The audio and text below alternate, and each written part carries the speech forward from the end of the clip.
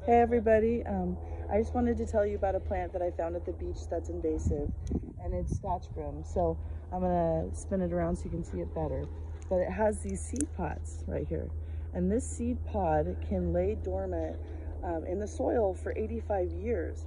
So every one of these seed pods can be a problem for 100 years. So when you see this plant, we really need to get on the removing it, right?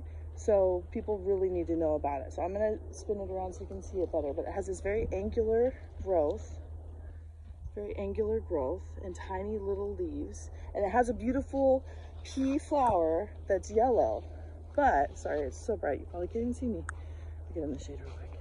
Um, anyways, it has this it has this bright, vibrant flower and people think it's beautiful, but it also, people are allergic to it, so they hate the way, they hate Scotch for another reason.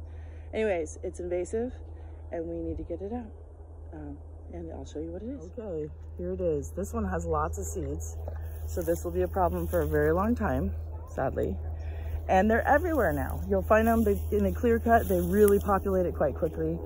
And um, I really would love people to get aware of it and we could start pulling it out because um, then we can put some things that are actually beneficial and or were here before and that and the Himalayan blackberry, which I'll tell you about that next. Bye guys.